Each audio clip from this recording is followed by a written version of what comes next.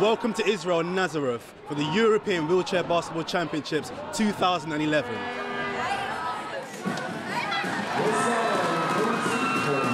My name's Jordan Jarrett Bryan, and we're going to be here all week watching Europe's finest battle it out for a place at next year's Paralympics in London.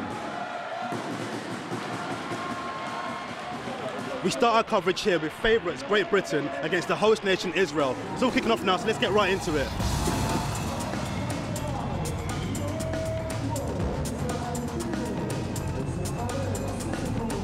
This was Britain's fourth match going into the tournament, having beaten Italy and Belgium and losing to Turkey. Britain were heavy favourites against Israel, and at the David R. Kahn Sports Hall, they got off to a flyer.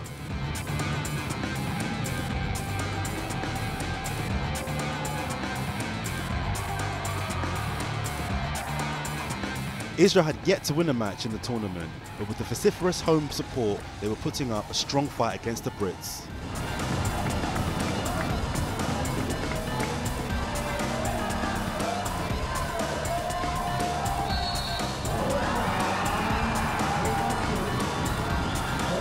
With the world's top three teams, Australia, Canada and the USA not competing in Israel, Britain were the tournament favourites and against Israel always looked in control.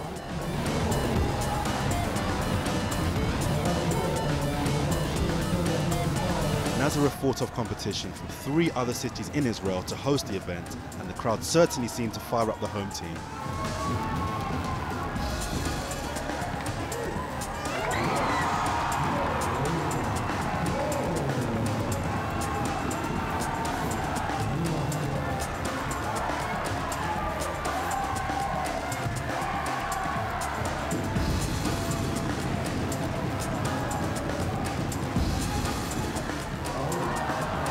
The Bulldogs, who've already qualified for next year's Paralympics in London as hosts, capitalised on Israel's wastefulness and began to extend their lead.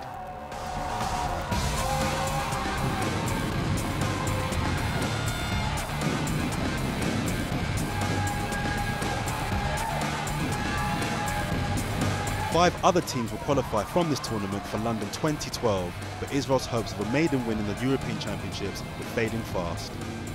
They were doing everything they could to stop Britain, but they often had to resort to fouls. GB were clinical from the free throw line. Bulldog coach Murray Treseder had to be pleased with his team's performance. Only pride was at stake for the home nation, and there were still a few flashes of inspiration from the Israelis.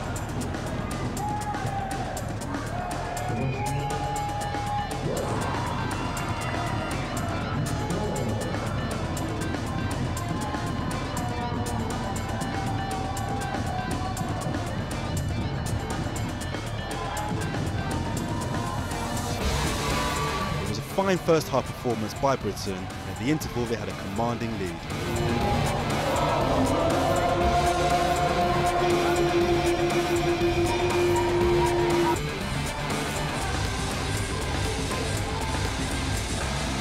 The second half began as the first half ended, with Britain in total control.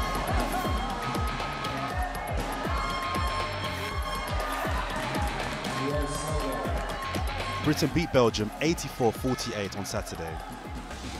This match wasn't as one-sided, although it was one-way traffic for much of the contest.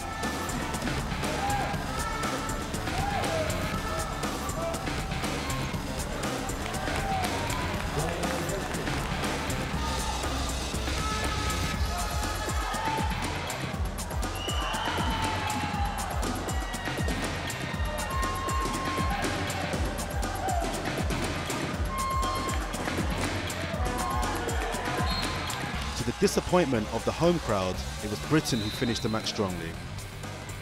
The final score was GB 63, Israel 40.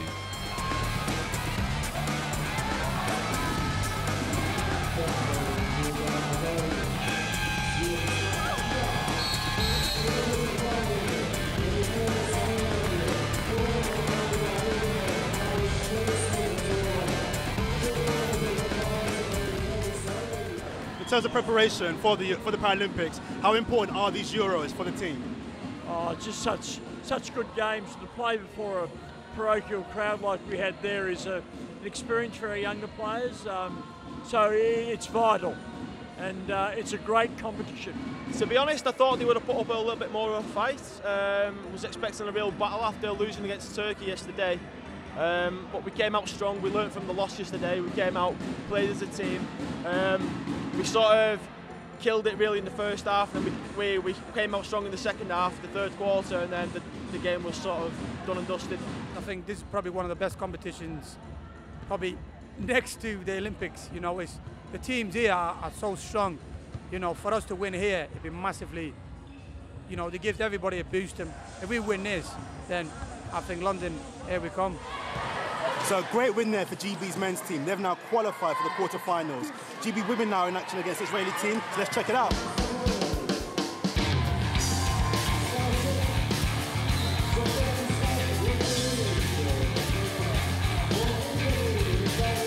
Britain's women were also in action on Monday against Israel. Like their male counterparts, GB got off to a great start.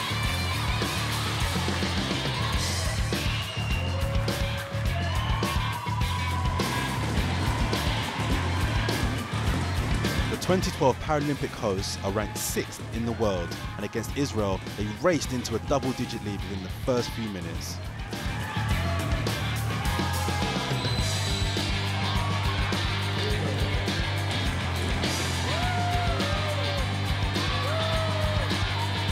The Israeli women were struggling against their far superior opposition, but were determined to give their home fans something to shout about.